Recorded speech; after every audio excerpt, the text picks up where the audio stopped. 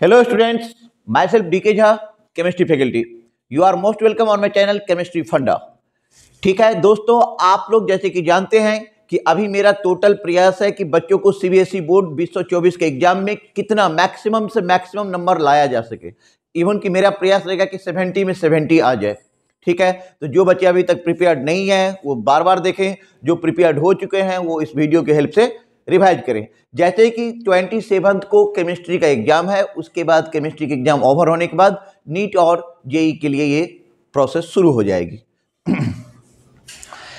तो aldehyde ketone and carboxylic acid सबसे पहले हम पहचानते हैं कि सबसे पहले ये देखो कि ये आर सी एच ओ यदि सी एच ओ ग्रुप है तो ये हो गया अल्डिहाइड ये हो गया आपका अल्डिहाइड अल्डिहाइड हो गया। ये हो गया आपका अल्डिहाइड। लेकिन यहीं पे आप लिखते हैं, R R dash C double bond O this is ketone. ये आपका आ गया कीटोन। कीटोन में क्या है कि R equal to R dash हो सकता है, R not equal to R dash हो सकता है। दोनों पॉसिबिलिटी है। और किसी भी कंडीशन में बेटा चाहे आर हो या आर डैश हो, किसी भी कंडीशन में हाइड्रोजन नहीं हो सकता। हाइड्रोजन नहीं हो सकता। किसी भी कंडीशन में हाइड्रोजन नहीं हो सकता। तो इस बात को आपको विशेष ध्यान रखना है कि अल्डिहाइड और कीटोन का बेसिक में डिफरेंस क्या है। ठीक है। अब यदि आप कार्बोक्सिलिक एसिड की बात करें तो R C O O H जब आपको ये फंक्शनल ग्रुप दिखाई दे सी ओ ओ एच तो आप समझ जाइएगा कि ये हो गया कार्बोक्सिलिक एसिड कार्बोक्सिलिक एसिड ये C O O H functional group इसको एसिड को बता रहा है। आपके पास लिखा रहेगा R C O C L R C O C L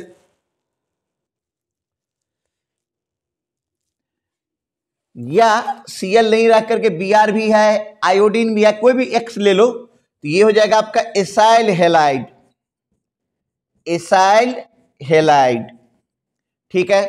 इसके साथ रहेगा R C O O C O are कुछ इस टाइप का बड़ा ग्रुप आ जाए।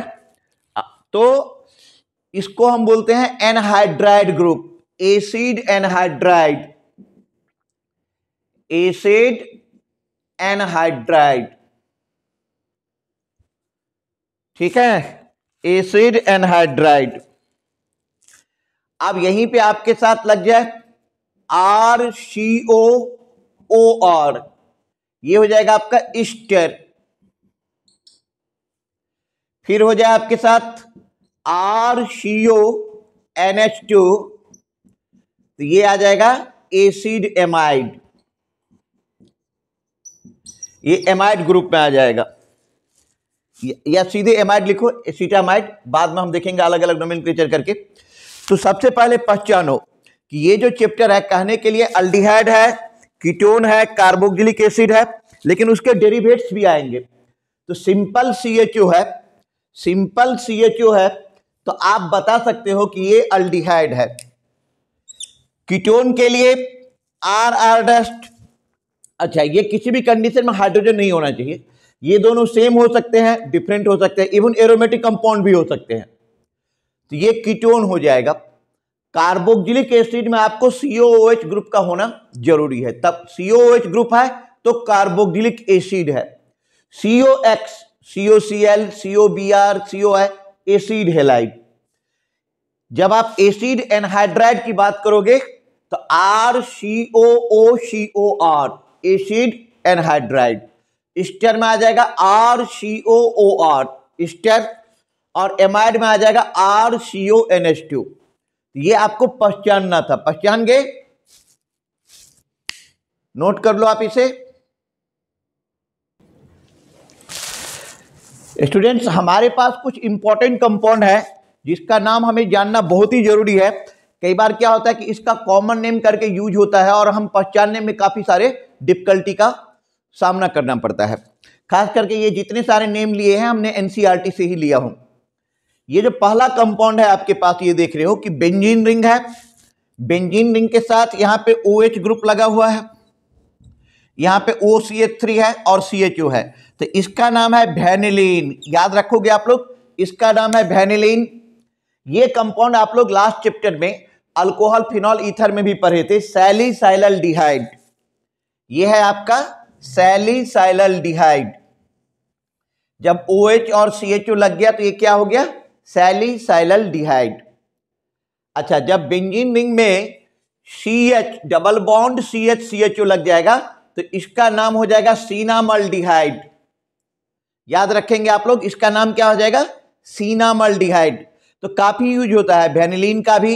सैलिसैलडिहाइड का भी सीनामल डिहाइड का भी। अब सीनामल डिहाइड लिख, बोल दिया।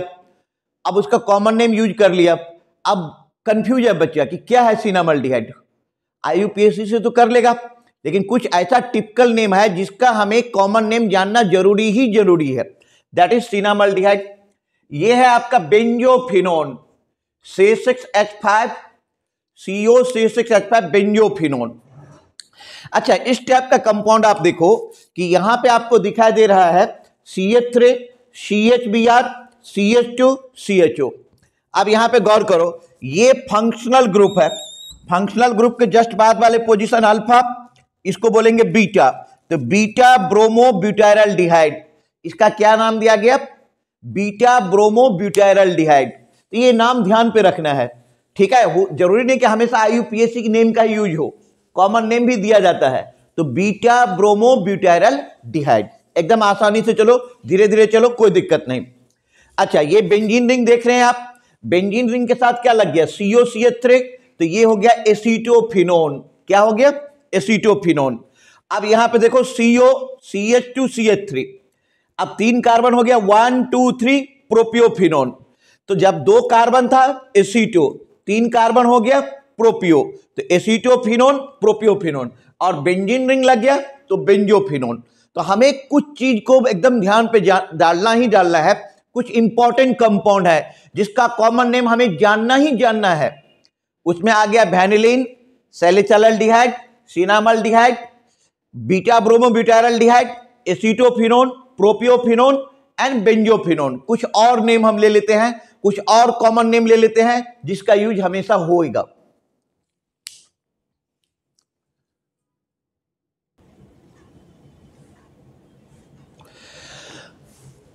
बच्चों अब सबसे पहले हम चर्चा करने जा रहे हैं आईयूपीएसी नेम का नोमेन का। तो पहले आप इस तरफ़ देखो नोमेन की तरफ़। नोमेन में सबसे पहले आप अल्डिहाइड ग्रुप ले ले। अल्डिहाइड ग्रुप तो अल्डिहाइड ग्रुप में अल्केन अल्केन में से ई हटा दो माइनस ए अब प्लस ए एल कर दो। तो इसका जो आईयूपीएसी नेम हो जाएगा आईयूपीएसी ये हो जाएगा अल्केनल। अल्केनल। और कॉमन नेम की बात करो तो अल्काइल अल्डिहाइड, उसी तरीके से यदि आप कीटोन लेते हो तो कीटोन में आपने ले लिया अल्केन। अल्केन में से ई हटा दो और ओ एन ई एड कर दो। तो ये हो जाएगा अल्केनोन अल्केनोन तो अल्केनल हो गया अल्केनोन हो गया। तो फिर से ध्यान दे दो अल्डिहाइड का जो आईयूपीएसी नेम होगा अल्केन उसमें से आप ई हटा करके ए एल जोड़ दो। अल्केनल कीटोन का जो आईयूपीएसी नेम होगा अल्केन में से ई हटाओ और ओन लगा दो अल्केनोन क्या हो जाएगा? Alkanone. बहुत अच्छा। अब मैं यहाँ पे बात कर रहा हूँ कि जनरली यहाँ पे सबसे पहले कुछ दो पॉइंट इंपॉर्टेंट पॉइंट देख लो आप लोग। कि जैसे हमने लिखा एच सी एच ओ तो इसका कॉमन नेम क्या हो जाएगा? कॉमन नेम हो जाएगा फॉर्मल डिहाइड फॉर्मल डिहाइड लेकिन इसका आईयूपीएसी नेम क्या हो जाएगा बेटे? मिथेनल। एक ही कार्बन है तो ये आ जाएगा मिथेनल। मिथेनल। अच्छा आपने ले लिया C H three C H O तो इसका कॉमन नेम क्या हो जाएगा? Acetaldehyde acetaldehyde acetaldehyde, और इसका आईयूपीएसी नेम हो जाएगा।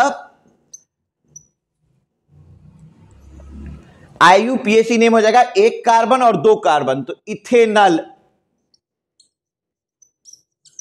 इथेनल। समझ गए? तो कॉमन नेम इस, कम से कम इस दोनों का तो याद रखो formaldehyde, acetaldehyde. IUPAC में हो जाएगा मिथेनल, इथेनल। ठीक है? लिख लिए? ओके। अब आप इसके बाद चलो। इसके बाद में बात कर रहा हूँ कि कीटोन का जैसे हमने लिया। जैसे हमने लिया C A three C A three C O सबसे छोटा कीटोन यही होता है। अच्छा इसका कॉमन नेम की आप बात करेंगे तो इसका कॉमन नेम हो जाएगा एसीटोन क्या हो जाएगा कॉमन नेम एसीटोन अब वैसे हो जाएगा प्रोपेन टू ओन या प्रोपानोन। आईयूपीएसी में इसका हम नाम क्या लिखेंगे? प्रोपानोन। प्रोपानोन। चलो ये बेसिक था, हमने कुछ बता दिया। अब मैं यहाँ पे आ रहा हूँ कुछ इंपॉर्टेंट कंपाउंड के बारे में, जिसकी हम यहाँ पे चर्चा करने जा रहे हैं। हमारे पास कंपाउंड है, ये एक कंपाउंड है। अब इसका हमें नाम लिखना है।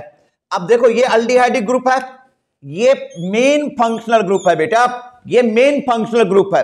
Counting should be started counting will be started from that side which give minimum number of position of the functional group, main functional group अब आप यहाँ पे देखो, इसको यदि हम मान लेते हैं फंक्शनल ग्रुप है हमारे पास तो इसका पोजीशन क्या हो गया? One two three four five six seven अब देखो थ्री पे मिथाइल है और फोर पे ब्रोमो है।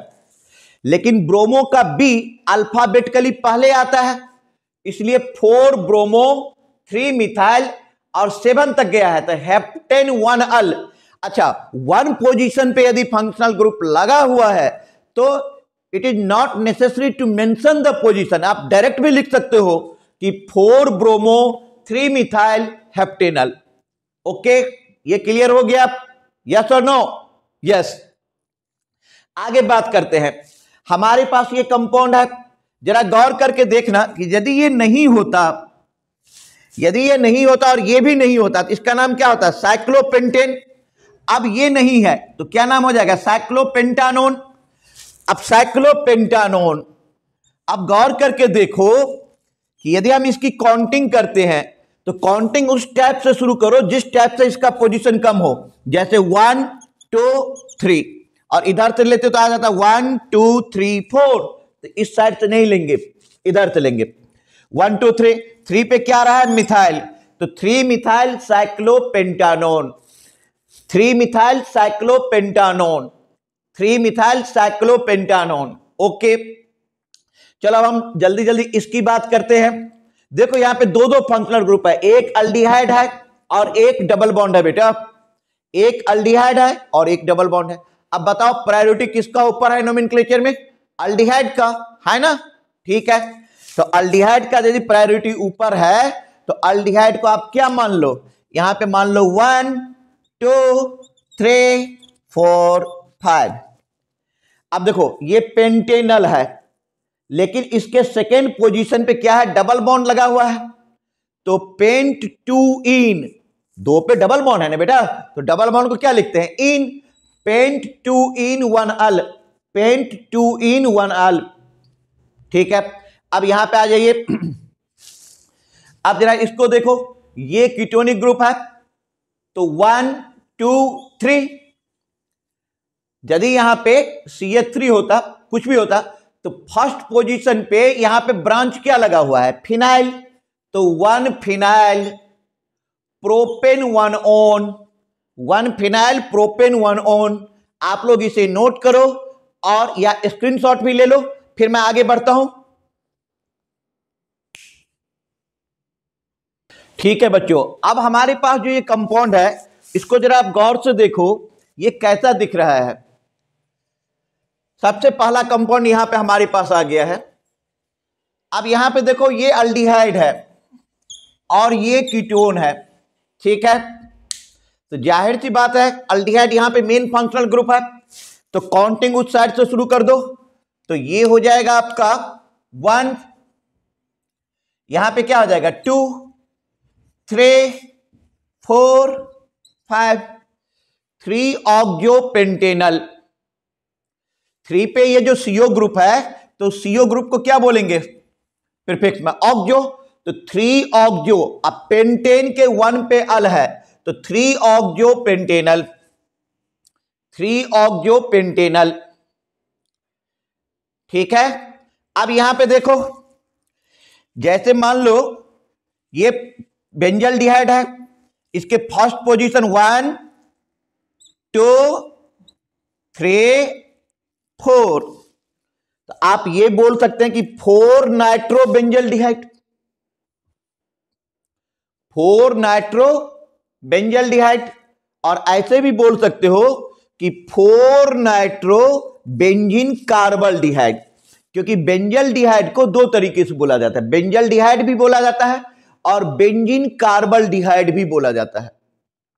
तो यू कैन तुम ये भी लिख सकते हो, four nitro benzene carbaldehyde या डायरेक्ट ये भी लिख सकते हो कि four nitrene nitro benzene benzaldehyde sorry अब हमारे पास इस कंपाउंड पे आ जाओ। तो कैसे काउंटिंग करेंगे? Count the number of carbon atom which form the longest chain including functional group तो one two three four five अब आप यहाँ पे देखो कि सेकेंड ग्रुप पे क्या है? मिथाइल लगा हुआ है। फोर्थ ग्रुप पे क्या लगा हुआ है? मिथाइल लगा हुआ है। टू पे मिथाइल है बेटा फोर पे मिथाइल है। तो टू फोर डाई मिथाइल है टू फोर डाई मिथाइल अच्छा sorry two four di methyl pentan three one ये हो जाएगा पेंटेन थ्री ओन अच्छा अब इस कंपाउंड को देखो कि एक अल्डिहाइडिक ग्रुप यहाँ पे है, एक अल्डिहाइडिक ग्रुप यहाँ पे है, एक अल्डिहाइडिक ग्रुप यहाँ पे है। मतलब यहाँ पे more than one functional group है। अल्डिहाइडिक ग्रुप ही तीन बार प्रेजेंट है। अब इसको काउंट कर लो आप। वन वन, टू, थ्री तो propane propane one, propane two, propane three. तो propane one, two, three tri carbaldehyde propane one, two, three tri carbaldehyde note कर ली इसे आप।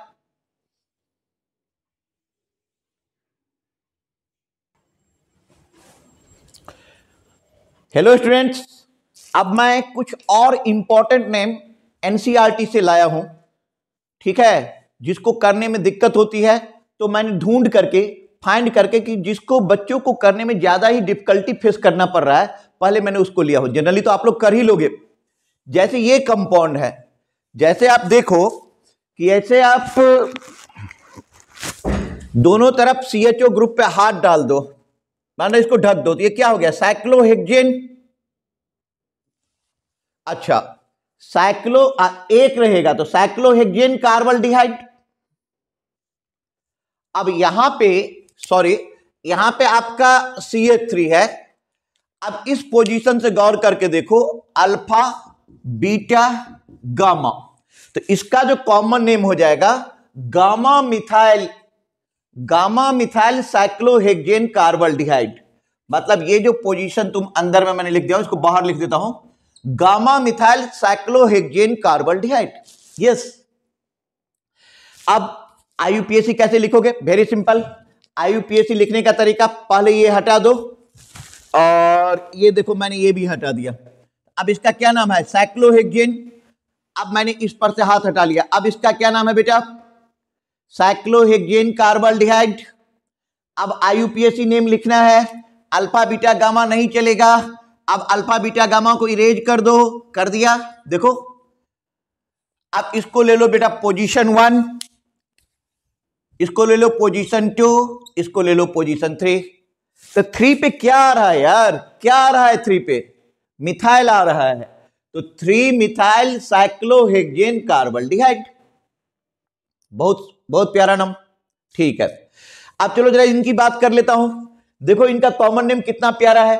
C H two double bond C H C H O common name है इसका acrolein acrolein का तो खैर बहुत बार यूज़ होता है। सीबीएसई में भी होता है और इवन जेई और नीट एग्ज़ाम में भी होता है। एक्रोलिन ठीक है, इसका नाम वैसा एक्रोलिन याद रखना पड़ेगा, कोई लॉजिक नहीं है कॉमन नेम के पीछे। तो एक्रोलिन नाम है। बट जब इसका आप आईयूपीएससी नेम करोगे तो कैसे करोगे? मेन फंक्शनल ग्रुप कौन है? अल्डिहाइड है।